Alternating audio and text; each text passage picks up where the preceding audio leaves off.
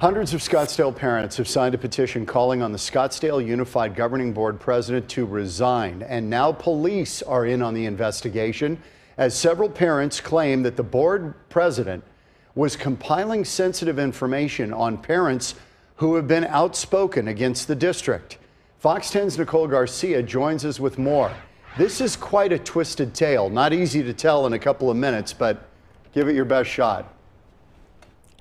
It is a little bit complicated, but what I can tell you right now is Scottsdale Unified announced today that it is going to hire an independent forensic investigator to look into this case. Now, parents are upset because of the discovery of a Google Drive.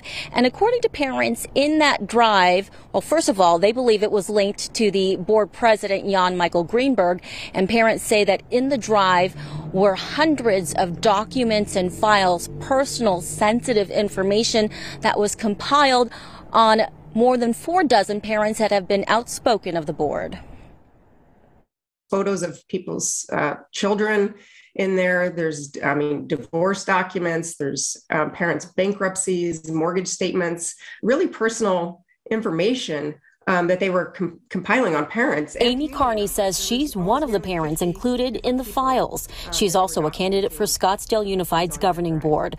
She says she was part of the email thread in which board president Jan Michael Greenburg revealed the files. It was the the five of us on that email string, and he was trying to prove um, I think how how she was anti-Semitic, and he was showing screenshots.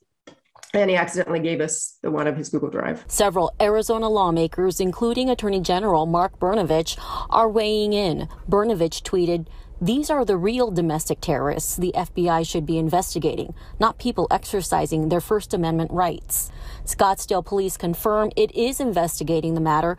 Meanwhile, parents and community members have gathered more than 700 signatures demanding Greenburg resign or be terminated. It's just completely unacceptable behavior from an elected official. It's really bizarre behavior and actually, you know, dangerous. Many people are afraid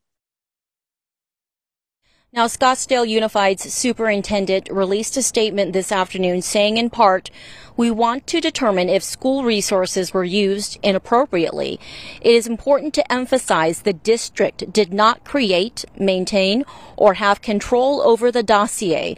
The information it contains appears to be largely from public documents, and parents are rightly upset that certain data, photography, and video has been collected and shared and we have made several attempts to contact Greenburg for this story, although our emails and phone calls were not returned.